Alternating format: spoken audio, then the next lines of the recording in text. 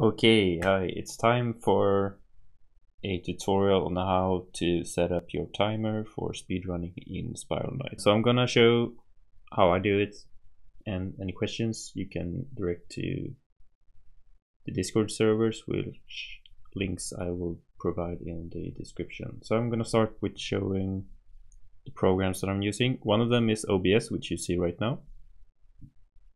Then there's two more LiveSplit, which I'm gonna bring up right here. The other one is AutoSplits. Both of these, download to them, I will provide links in the description. And there we are. We have the timer itself.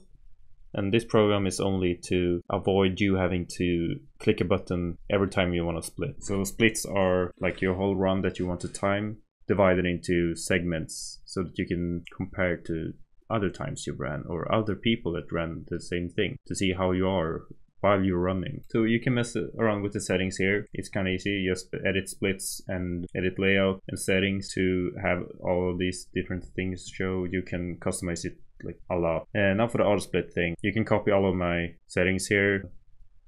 I need to load my settings first. There. Now you want to have this program scan your game while you play to compare it to a specific image, one which I will also provide in the description. So you can't scan the direct gameplay window, you need to have another window which shows the gameplay. I know it's stupid. So let me just open up a window from Spiral Knights. Just have it in the background, don't tab it down and select window, click on that one. So we capture from this and compare with this picture. So it's just a plain picture with the price wheel. So every time the price wheel shows on your screen, it will use the input, same input there as there to do a split. So just place it in this folder. I will show you how it works.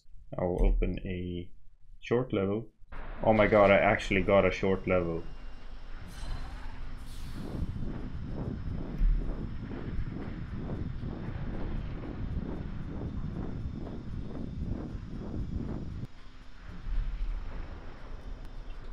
So I'll start the timer. You see now it's comparing here.